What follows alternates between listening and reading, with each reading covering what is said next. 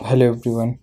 Uh, welcome to my channel. So in this uh, video series uh, where we have started last uh, to solving some of the java exceptions and errors. So we are resolving one exception or error that basically comes up while you know executing our program or our project in eclipse or spring tool suite is that we are unable to find the target folder. Source is like where we are writing our or sorry creating our java classes and target is the when we are executing it okay?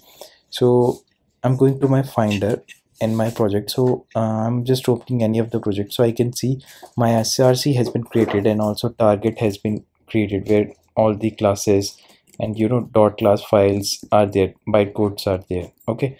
But some of you have faced this exception okay?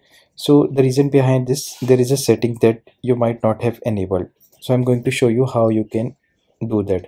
So you need to go to the process is basically same for spring tool suite and eclipse. I'll going to show you both.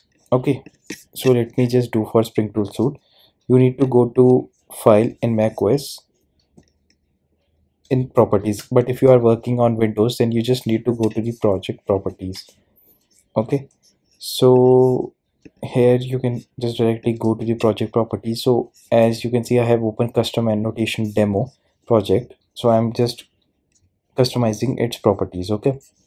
Now you need to go to java build path and here you need to go to the source tab okay? And there is one option allow output folders for source folders. So you need to just take this folders okay? And the default output folder would be target classes okay so and add this output folder if you have it target slash classes explicit to you know each source folder. So this works basically for me every time and after adding all folders your project you know can be compiled and executed. Okay so the same processes we need to follow for eclipse and spring tool suite. In the eclipse also suppose you are going to i'm just going to select my works project and going to project properties and the java build path. Source tab uh, you can see the default output folder. For this is like my work slash bin. Okay. And just let me just go to this. Java code. Okay java neon. And here i'm going to my works and you can see in bin the difference between the two is like this eclipse is the latest one 2022 and my spring tool suite is the older uh, probably spring uh, 2020 or 2021 version. So earlier in spring or be it in eclipse we need to or we have we are creating a target folder.